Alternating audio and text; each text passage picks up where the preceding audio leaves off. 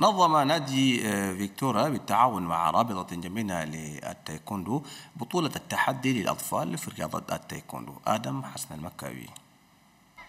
واحد وخمسون طفلا من هواة ومحبي رياضة التايكوندو ممن تتراوح أعمارهم فيما بين سن الخامسة وحتى الخامسة عشر هم من شاركوا في الدورة الأولى لبطولة التحدي للأطفال حيث تم تقسيم الأطفال إلى سبعة فرق بمسميات الدول.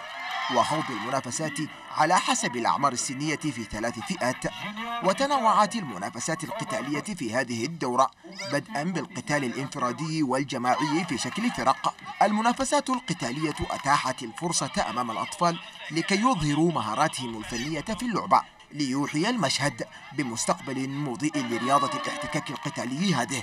كما أن الدورة الأولى لبطولة التحدي للأطفال كانت شاهدة على عروض الفنون القتالية الوهمية المتصفة بالتركيز والدقة والثبات والمعروفة في عالم التايكوندو بالبومزات.